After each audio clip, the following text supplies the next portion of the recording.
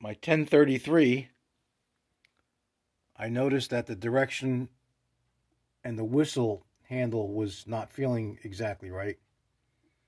And then it started smoking. So I took it apart. And I think the only problem is, is that the spring came off.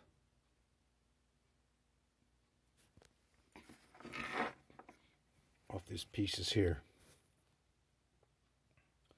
We're going to try and get it back together and see if it can work again without smoking. Well, I think I got it on right.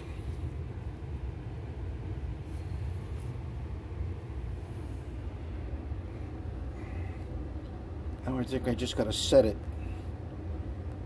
with a sharp blow from the hammer. Okay, I got the spring back in place.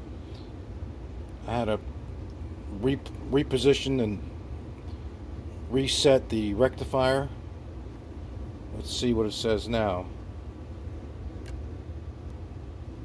That's good. That's good.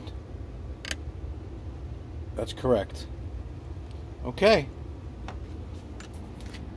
Spare 1033.